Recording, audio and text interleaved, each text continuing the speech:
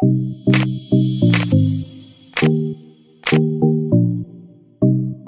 Assalamualaikum warahmatullahi wabarakatuh. Ketemu lagi dengan saya di channel vlog berita. Oke teman-teman, hari ini itu ada kabar berita dengan judul Unfollow anak tiri. Empat gelagat Ririn Dwi Arianti bak mantap pilih bercerai. Pengadilan agama buka suara.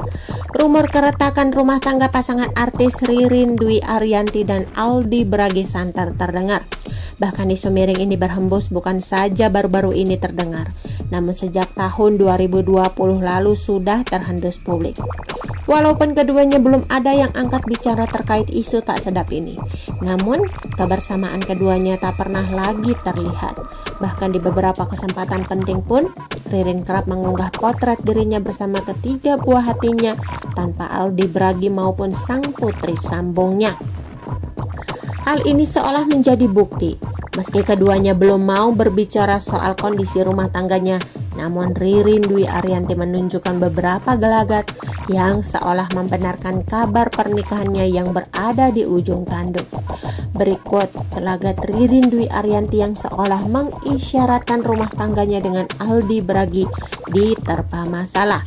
Dilansir dari palembang.tribunnews.com, Ririn Dwi Arianti sebelumnya kerap membagikan foto mesranya dengan sang suami Aldi Bragi.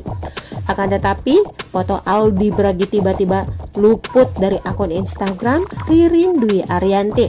Tampaknya, ibu anak tersebut sudah menghapus foto kebersamaannya dengan sang suami Aldi Bragi. Ririn Dwi Arianti terlihat hanya merayakan hari pertambahan usianya dengan ketiga buah hatinya serta keluarganya. Ririn Dwi Arianti dan Aldi Bragi sudah tak merayakan acara spesial bersama.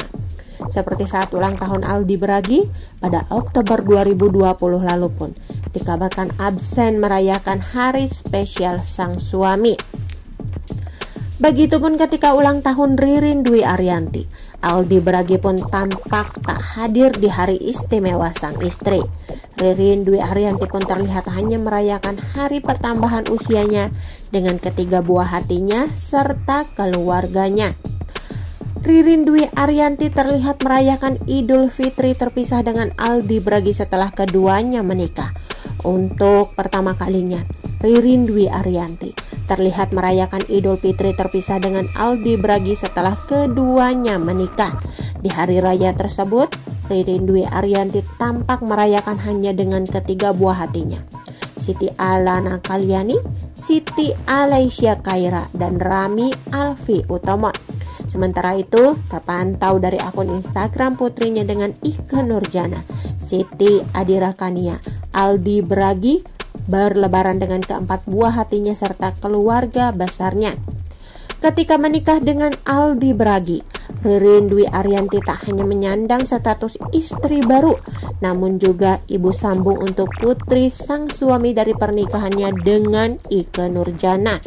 Hubungan Ririn Dwi Arianti dengan putri sambungnya Siti Adira Kania pun terlihat begitu akrab. Akan tetapi, Belakangan ini terungkap bahwa Ririn Dwi Arianti dan Siti Adirakania sudah saling unfollow di Instagram. Pihak pengadilan buka suara. Rumah tangga Ririn Dwi Arianti dan Aldi Bragi dikabarkan tengah tak harmonis. Bahkan terdapat isu jika Ririn Dwi Arianti sudah mendaftarkan gugatan cerai terhadap Aldi Bragi yang menikahinya pada 2010 lalu.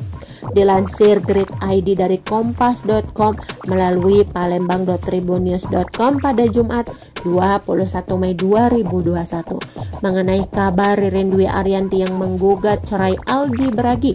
Humas Pengadilan Agama Jakarta Selatan Taslimah angkat suara. Menurutnya, belum terdaftar nama Ririn Dwi Arianti dan Aldi Bragi yang memperkarakan perceraian. Seperti diketahui, isu keretakan rumah tangga Ririn Dwi Arianti dan Aldi Bragi semakin memanas ketika pasangan suami istri itu kedapatan merayakan hari raya Idul Fitri secara terpisah. Ririn membagikan potretnya bersama dengan tiga buah hatinya, Siti Alia Kalyani, Siti Alicia Kaira, dan Rami Alpi Utomo tanpa kehadiran Aldi Bragi. Sementara itu, Aldi Bragi membagikan potret momen lebaran dengan keempat buah hatinya, termasuk si sulung dari pernikahannya dengan Ike Nurjana, Siti Adirakania beserta keluarga besar. Sebelumnya, Ririn Dwi Ariyanti juga tampak merayakan ulang tahun tanpa kehadiran Aldi Bragi. Oke teman-teman itu sedikit berita dari channel Vlog Berita. Sampai ketemu lagi di berita-berita selengkapnya. Assalamualaikum warahmatullahi